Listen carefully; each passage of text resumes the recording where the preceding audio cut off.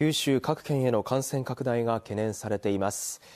佐賀県唐津市で発生した豚熱について2例目の感染が確認された養豚場で飼育するおよそ1万頭の豚のうち6000頭余りの処分が今朝までに完了しました。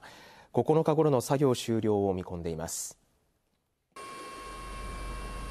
先月31日に豚熱への感染が確認されたのは唐津市肥前町の養豚場です。県内で2番目に多い1万頭の豚を飼育していました。佐賀県によりますと殺処分は自衛隊と協力して進められていて